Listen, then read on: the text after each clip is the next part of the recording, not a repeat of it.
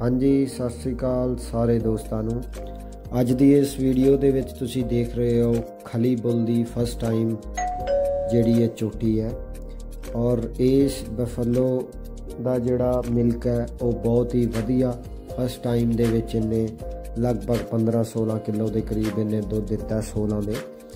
ਸੋ ਇਹਦੀ mother record ਆ ਜਿਹੜਾ ਬਹੁਤ ਹੀ ਨਾਰਮਲ ਜਿਹੜੀ ਬਫਲੋ ਦੇ ਵਿੱਚੋਂ ਆ ਤੇ ਅੱਗੇ ਵੀ ਜੋ